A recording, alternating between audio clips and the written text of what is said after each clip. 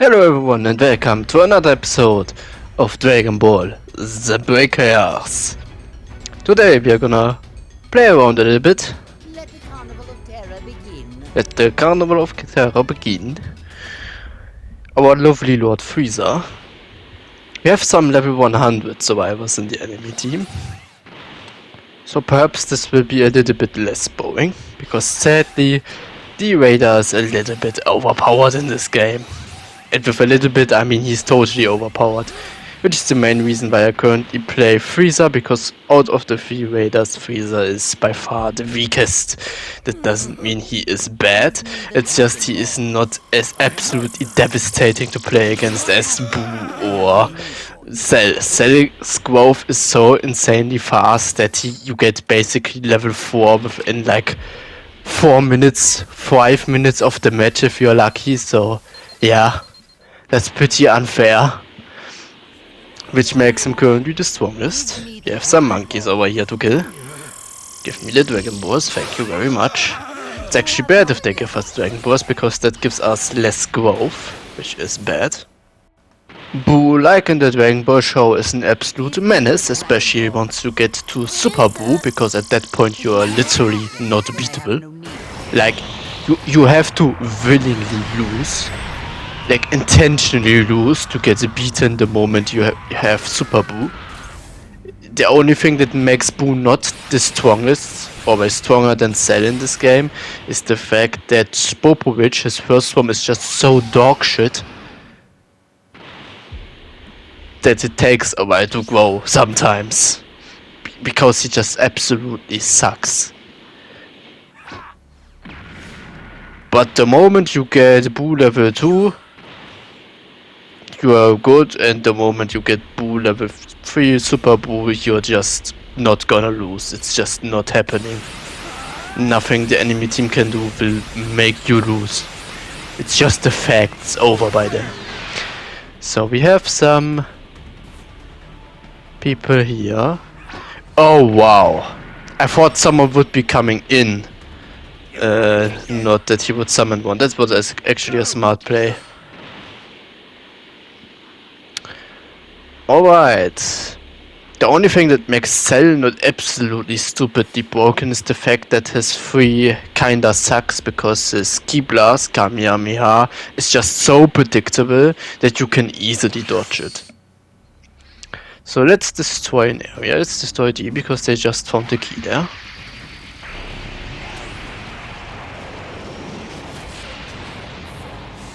What do I see there? Kaioken. Why? Why would anybody use Kaioken? It's it's such a shit ability. Like it's literally just a dinnerable for the Raider. You are literally just screaming, Hey yo, bro, I'm here. Can these vending machines please die? Thank you. Now Frieza kinda sucks compared to the other two Raiders because he is not very accurate. But he is still very strong and definitely overpowered because all Raiders are overpowered. He's just from the two Raiders the worst option to pick, which is why I play him because I would like to actually play the game. You know, ha- have like at least two brain cells active when I'm playing the Raider and I have to actually do something or act- actually have the possibility of losing like if you want to know how broken it is like my first match with Cell as a raider I got 7 kills immediately. There were level 100 players survivors in the survivor team. So yeah this is how broken it is. A- an absolute noob like me can absolutely steamroll even higher level survivors with ease, especially because of this. Yeah, he was he was actually smart. He was just hiding. However, the lock-on system is such bullshit because it just tells you where everyone is automatically at. The moment you come close to a survivor, it will automatically target them and play like the theme music, the combat music, and literally tell you, "Hey, yo, there's someone hiding there." So stealth is literally not an option. Alright, the Kaioken guy is somewhere here. Let's teach him what happens when you just use Kaioken. It won't save you. Uh, for those who are curious what are good abilities to use. if you're new to the game, um, first of all, you have to roll for the good abilities because the abilities you have at the beginning are all dog shit. Um, the only good thing you have at the beginning is the grapple, that's pretty much it. You want to get an Android 17 wall for Android shield. I think 17 had the shield, I'm not sure though. You want to get the cell wall, which I still have not got for after image. And you want to get Bulma bike. You can get it by simply playing Bulma as a character for your survivor. Or yeah, fucked up, I should have immediately gotten for A. I'm talking too much. But yeah, anyway, so another Kaioken guy, would you look at that? um, Bulma bike, you unlock it by simply playing Bulma as your survivor character. If you want to have it on your own survivor character that you designed, uh, you have to upgrade the Bulma bike up to level 10. That's how you unlock character abilities on all characters. Just upgrade it to 10 plus. That way you unlock it on all characters you have. Another good ability, especially for starters, would be Quinnen's Shoe, since that's a more common role. Solar Flare is also okay. Those are the more common roles you will have at the beginning, but yeah, ideal build in terms of abilities would be for Survivor, Android Shield, After Image, Grappling Hook, and Bulma Bike. That would be my personal build I would like to have. Currently, I'm missing After Image and I use Quillen's Shoe to replace the lack of that, since I find it better than Solar Flare at times, since it has more range sort of have to be kind of inside of the enemy literally for it to hit. Someone is hiding under B. Hello there.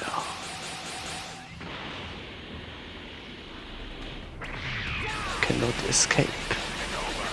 Was that the Bulma bike that he just tried to summon? Oof. That was a big waste. Your Kaioken will not save you. Why is everyone using Kaioken? What the fuck? Didn't you get the memo? Kaioken sucks. It's ass. Don't use it. Oh, you've let me right to your half-dead friend. Oh, you tried to save him. That is very foolish. Because now you will die alongside him instead. There you go. Another one trying to save his friend. Very foolish. Your friend was already... Oh, you have also ordered Dragon Balls. Thank you very much for that. what? What? Why would you come with like six Dragon Balls over here to me? Or five, I think I've had one already. Why would you come with all the Dragon Balls to me so that I can kill you? So that I can get all the Dragon Balls. would you like to work for me? As Frieza would say now if I would have that voice line. I need one more kill to get to level 4 for my Frieza. And my NPC actually managed to hit him. Two hits from them in one round, that's impressive. Usually they don't hit shit. And we are Frieza. Where's the last Dragon Ball? I want to become immortal. Begin, Oh, you found the power key for E, did you? Would be a shame if someone would drop a nuclear bomb on it. A real shame, isn't it? there goes your progress. So now you have to go all the way over to B.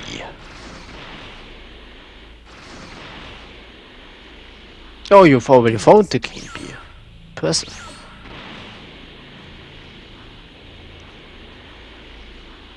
Are you hiding? Come on, broken lock-on system, tell me where they at.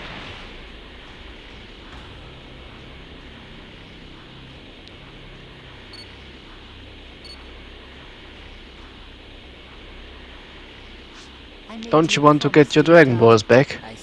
Come out. Oh, hello there. Hiding doesn't work, stealth is not an option. You should know that.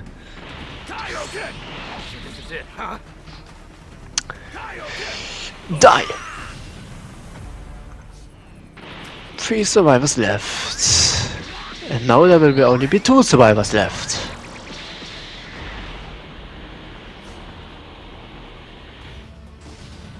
Die! You rage quit. We've quite quite a lot of rage quits currently. One of the Kaioken guys rage quitted as I killed him to get into my level 3 form. So yeah, I now they have pretty much lost because unless I destroy the time machine, the emergency time machines won't spawn because, yeah. Drop is immediately here. That's also so dumb. Why do the drops like spawn so close to the radar? The drops should kinda spawn in a certain radius with... What the fuck? How? Huh? Emergency time machines. Did they change that in the newest patch? Because usually those time. Oh, yeah, the last Dragon Ball. Make me immortal. Okay, that's weird because usually those don't spawn until the big time machine is dead or if the t- big time machine did not get spawned at all because they failed to do the objective in time before all the zones were destroyed slash too many players died. No match for me. Okay, interesting. So they either it's a bug or they've changed that, so it's now like that bad I that hatch.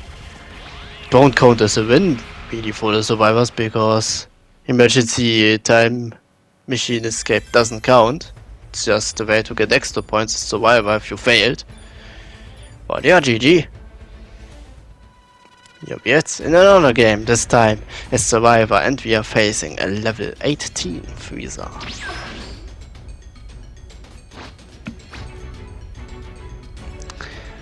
Alright. Can you hear me? It's John. I've set So we are in B. that's the probably red B, so we should probably one button move to. A.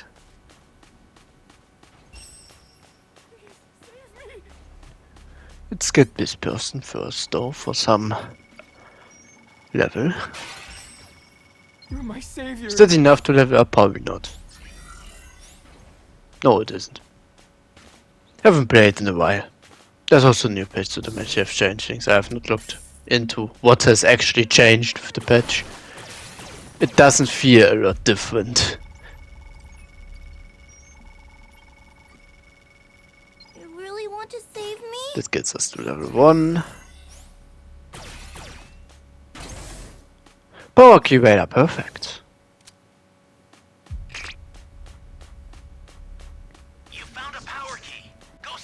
Yeah, I have a couple one level 100 players in my lobby, so yeah, this explains why we are having already two power keys found before the radar is even level 2.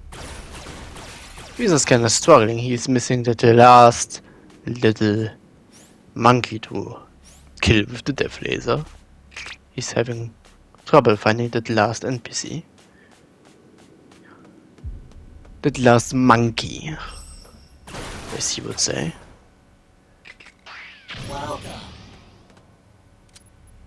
Irgendwo radar, nice. He is here. Close by at least. Oh, never mind, that's just a bike, right? Yeah. Well, now he's coming over here. I hope he wasn't chasing the guy with the bike. I hope you didn't lead the guy to me. That would be not appreciated. I think he's going over to B slash C because that's where the power key was just placed. He somehow didn't hear that NPC over here. Screaming, Ayo, I'm here. By the way, kill me, please. I am grateful. Yeah, that gets us not even to level 2 because we're missing like 1 millimeter. Nice. Pain. But here's the last skip we need. It's level 2 dragon change. Key is above us. More money. Dragon Ball Raider level 2. We have a couple Dragon Balls. Uh, I need to climb up here. Know what? Fuck it. Let's go up here.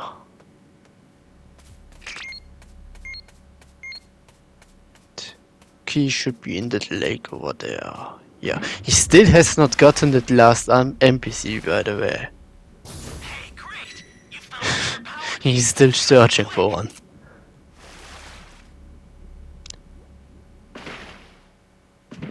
Let's get to that power key as fast as we can, because the moment he levels up, he will probably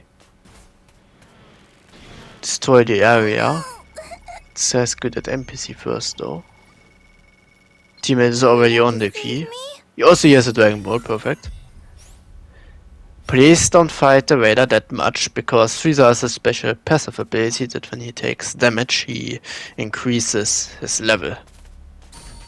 Or he gets growth. Power key A is that perfect, good work. So only D and E left. We have three power key set and Frieza is still level 1. This is usually how it looks like when you play as Spopovich. But not Frieza. Frieza is actually really good. Because Frieza actually is the best level 1 from the Raiders. Like his level 1 is so strong you can definitely just don't even look for NPCs, just go immediately for player kills. Because you can totally fight and if they fight you back you will gain growth from it as well.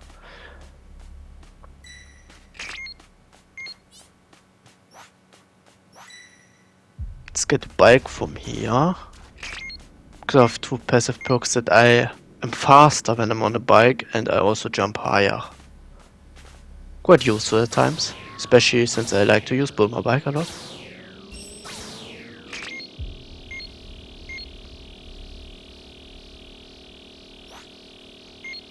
Alright. The guys are also here. Let's look for that power key. Yeah, it's in there, mate. That's great. Oh no. Raiders here, he lured him over here. That's bad. I'm close.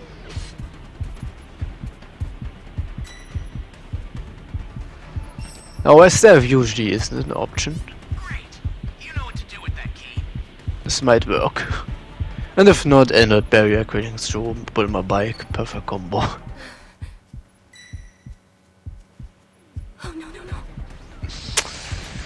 Can you fuck off? Yeah, he's look on me. Get quit and shoot. Let's go.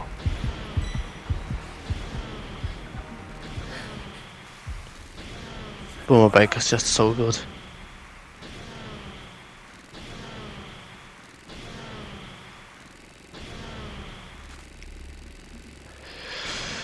E is set already. Okay, we are only missing the ENT still level 1 by the way, because my teammates are smart enough to not fight them. Do we have all the 7 Dragon Balls? I think we have. Maybe. Then let's get to get guy who has the most over there. Is he coming towards me? I hope not. Please stay in the freezer. So that we can summon Shenron over here. Please don't come over oh, here. The other guy is coming over here, perfect. Yeah, we have all the seven Dragon Balls. Seven Let's go, altar.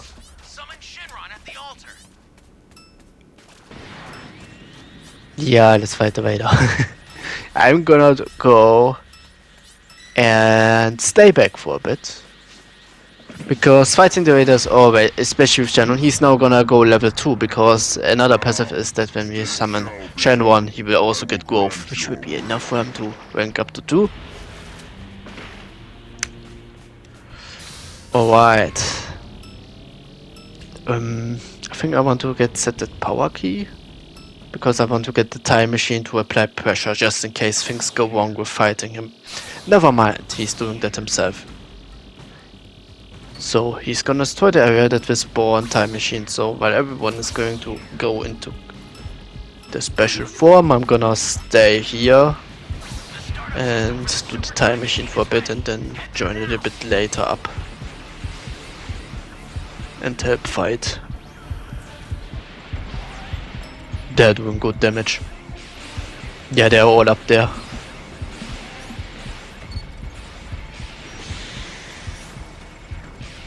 Damn, we have electric wave. Yeah, we have one.